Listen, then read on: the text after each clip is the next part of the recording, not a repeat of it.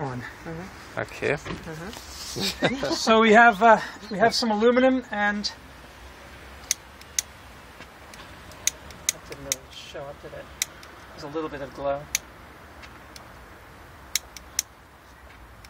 Yeah, I think I'll have to um, to add a little bit more.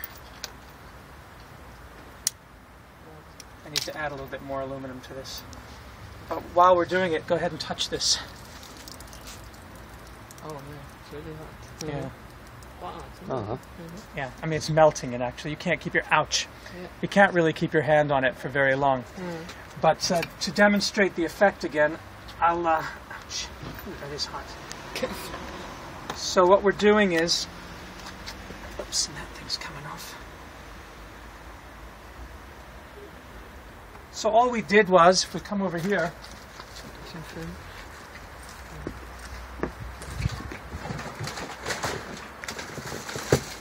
we just take some aluminum foil from the dinner plate and stuff it in. I'll use a little bit more. I gather this on streets. There's always people throwing these things away, right? So hmm. lots of aluminum wasted in the world. And even though it's got food waste on it, it doesn't matter. It's filthy. Take some lye, which can be sodium hydroxide or potassium hydroxide made from wood ash, and pour that in. And then it starts to bubble. That's really low. Oh, shoot. Just hit OK. It just starts to bubble and it's making hydrogen gas. So, very quickly, whoa, whoa, whoa. It's very hot. So I'll put it on here. And then, Oh wow! Ooh. so as you can see, Yeah. that's hydrogen Yeah. coming out of here. And there's a lot of it from a very small amount of, of aluminum. And I assume that's still on, right? Yeah. Yeah. So you can actually get quite a bit from each aluminum, from each plate of aluminum foil that you have. You can get quite a, a, a large amount of hydrogen gas and heat. This is extraordinarily hot. It must be 60 degrees Celsius.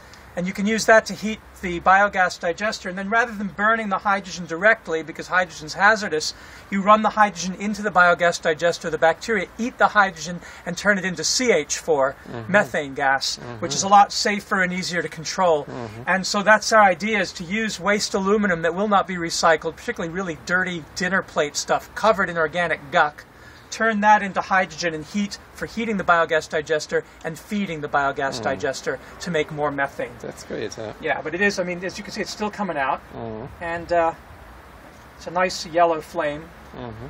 that is produced there.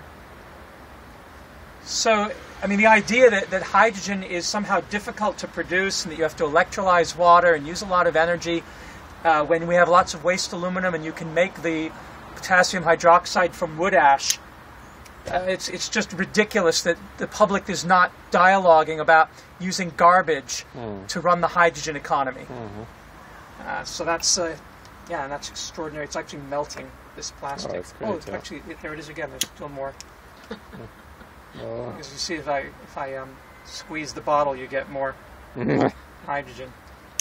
And I don't want it to backflash. Normally, if you're going to try this, put brass wool in here to keep the flame from going Yes. back. Mm. I'm only not worried because it's a tiny little pillbox, and if it did explode, it would just shoot back like a rocket. Uh, and you should wear goggles when you do this. Don't do what I do. wear goggles, wear gloves, be safe, put the brass wool, flash arrestor, do all that. But I wanted to show you that in fact the reaction does work and it's really simple. Thanks a lot. Oh, yay! There's